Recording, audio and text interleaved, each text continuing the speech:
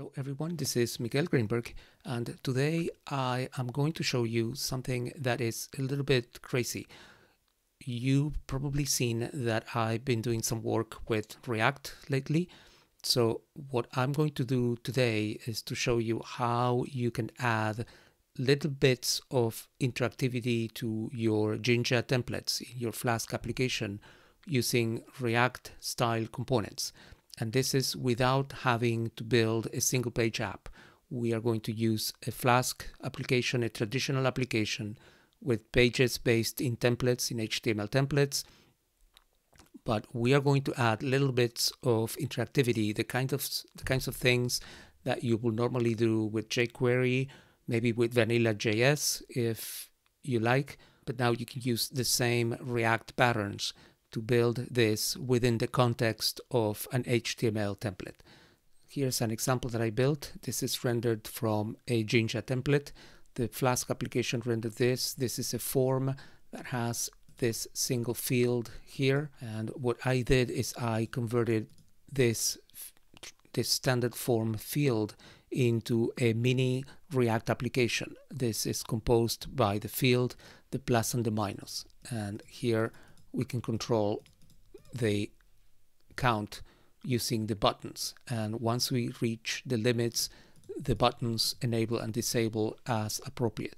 So all of this is written with very simple logic and using the standard React patterns. If you were to build this with jQuery or with Vanilla JS, it would be, in my opinion, a lot more complex to do. So what I'm going to do in the rest of the video is to show you how I built this. I actually recorded myself why I built this example. So the rest of the video is going to be that recording. Uh, if you just want to go straight to the code, then the link to the GitHub repository is down in the description. So feel free to check it out. All right, let's go ahead and build this example application. Here I have a brand new directory. There's nothing here yet. So I'm going to start by creating a template directory for the Flask application. And next I'm going to edit the two files that I need for the application, which are app.py for the code and index.html in the templates directory for the single template that we are going to need. So let's create a basic Flask application here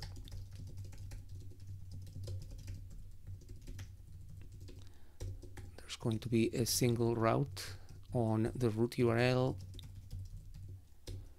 Here for now we are going to render the template and we need to import render template up here. So this is our first version of the Flask code. Now we can go into the template and create a basic HTML page here. We need a head section and we need a body. In the head section we can create a title here and we can write the same thing as an h1 element in the page. And then the content of the page is going to be a form. So let's create the form and we need a single field. This is going to be a very simple app. So I'm going to create a paragraph here. And for this, this is going to be a numeric prompt. So we are going to say, how do you rate this tutorial? As an example here. And then we are going to create the input field where the user will type the rating.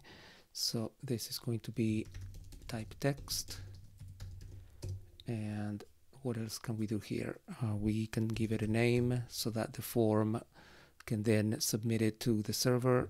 The name is going to be rating. And then finally, we need a submit button. And this is going to have a value, which is what's, what's going to appear on the button itself. So that is more or less it. Actually, the submit button should be outside of the paragraph. So this is pretty much done as a first version. So I'm going to split my terminal here into two And here in the bottom part, I'm going to set up the system. So I'm going to start by creating a virtual environment. So let's create the environment, activate, install Flask. And now we are ready to run this. So I'm going to run with a development environment so that I get the debugger and I'm going to use Flask run to start the application. So there we go. We don't really care much about this, so I'm going to give more space to the text. But now here we can go to localhost 5000 and hopefully we get a, an application. There we go. So to complete this basic version of the application, we can add the submission of this form. So the method is going to be post as it normally should be for all forms. And then in the Flask side, we are going to accept methods get and post. And here, if uh, request.method is post, we are going to do something simple here because this is just an example. So what we are going to do is get the rating from the request object. This is going to be a variable called rating, which matches the name of the field in the HTML. And new rating has been received and we print the rating. And we're going to leave it at that. And we are once again going to render the template so that you can submit an additional rating. So let's save this. I'm missing an import. Save again, and there we are. So now I need to refresh the page so that we get the the modified form that submits via post request. So let's try again, send the for, and there is the uh, the variable received in the server. So there we go. So this is the basic Flask application. And now to improve this very basic field, the more traditional option would be to use jQuery or something similar, or maybe even vanilla JavaScript to add uh, some interactivity. So what we all, we're going to do today is to use React, or more specifically Preact, which is a React clone that is much smaller because it only copies the most important features of React. And it's also designed to be embedded in a page as opposite to having a complete build that uh, normally React needs to use to convert JSX and a bunch of other things into code that can run in the browser. So Preact does, doesn't need any of that. So let's find the Preact web page right here. And Preact doesn't have, as I said, JSX. It doesn't require JSX um, it uses something different and I'm going to go into the documentation into the, the, getting started guide and here's the section that describes how to work without a JavaScript build so getting in there we learn that there's an alternative to JSX called HTM and this is built by the same author of Preact so both Preact and HTM work together. So I'm going to go into HTM because it's interesting that HTM provides a combined version of the two libraries, Preact and HTM. Uh, but from the Preact side, you have to import those two separately. So we're going to do it from the HTM side. And here in the HTM side, we have finally an example of what we need to do. So this is the command or the statement that we use to import the Preact library loaded with this HTM support, which offers similar functionality to JSX without requiring a build. So I'm going to copy this and now we are going to add this into our HTML template. So here at the bottom, after the form, I'm going to create a module script. This is what's going to enable me to use imports, the modern type of including scripts in JavaScript. So here we can import the two main elements in the Preact library when combined with HTM, which are HTML and render. So to begin, I'm going to just render a very simple thing. So here we can create a simple element to render and here you are going to see that the syntax that this library uses, the HTM uses, is based on the uh, template strings in JavaScript. So I'm cre creating creating a template string and inside the string I'm going to say span rating field here let's say so this is going to be our replacement for for the rating field. And then here in the rating I'm going to remove this for now and I'm going to create a placeholder element here that's called rating. And this is going to be where we are going to render our component here. So get element by id rating so let's review we have an empty span here that is the location where we want to insert this mini React application. And then in the JavaScript side, we are using the render function from the Preact library to render this very simple component into this element that we created, the empty span element. So let's save this and make sure that this is working. So now what's going to happen is that the field is going to go away and instead of this empty span we are going to get this message. So let's refresh. And of course we have a post submission warning. So there we go. So now we have our Preact application up and running. So we are already running Preact so what we want to do here instead of this simple span element is to create a component so this is going to be a rating component.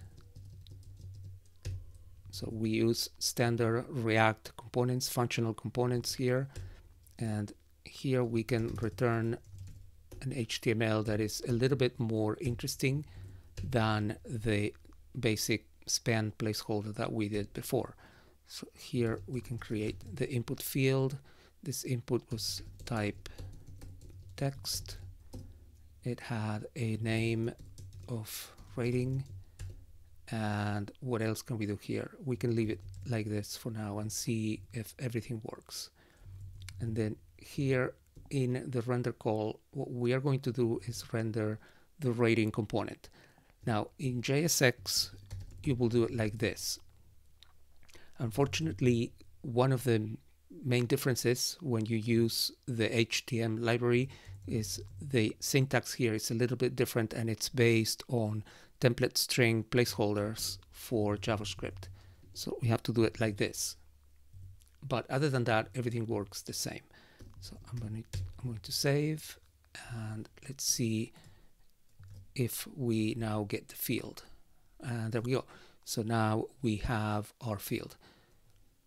Let's add a couple of buttons to increase and decrease the number so we can have a plus button and a minus button there we go next we can add a state variable for this rating and inside the component we can create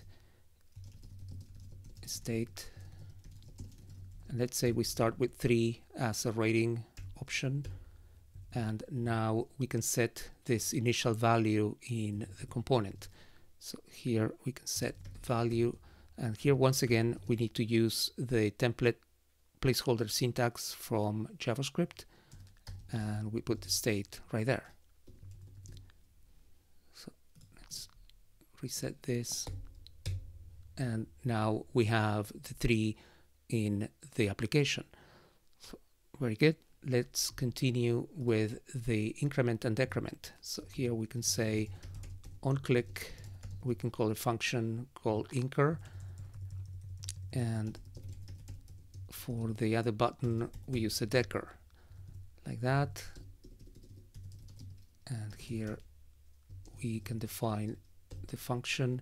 This is going to be a JavaScript event handler, so it will receive the event as an argument in both cases. We want to prevent these buttons from triggering the browser's default form submission, so prevent default and prevent default and then here we increment the state and decrement the state so let's refresh the page and now we have our little counter so this clearly works without bounds. Right now we are not checking. So let's say that we want to allow only ratings between 1 and 5. So what we can do is to add a disabled option to both buttons and the condition to be disabled is when value this is the plus so the plus should be disabled when the value reaches 5 so greater than 5, equal or greater than 5. And then for the minus button, we are going to stop allowing it when the value is 1 or less. So we have an error, I guess. Let's take a quick look, see what happened. Value is not defined, of course. This is called state. Let's try again.